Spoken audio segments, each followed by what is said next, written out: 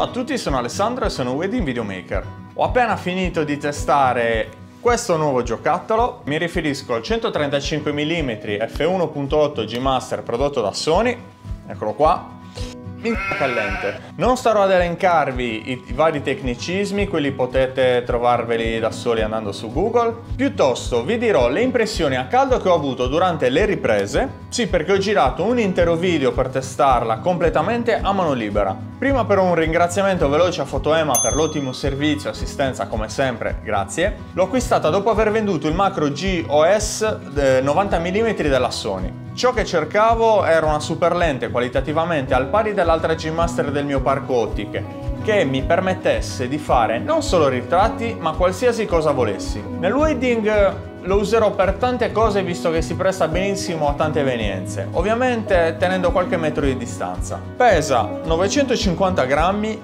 e si sono fatti sentire tutti non appena l'ho tirata fuori dalla scatola. Sono riuscito a stabilizzarlo senza problemi su Ronin S considerando che la mia camera monta anche un rig. Controlli sul corpo, ghiera dell'otturatore, focus manuale.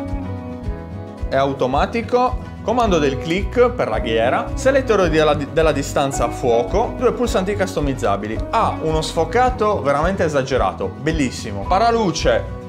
Enorme. Con rivestimento in tessuto interno, molto soft.